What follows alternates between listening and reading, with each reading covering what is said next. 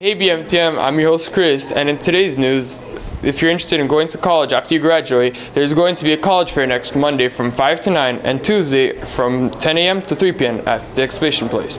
Now to wrap from some information about school. I'm here to inform you about other activities going on in the school. There will be a slight chance of an academic award assembly on Thursday.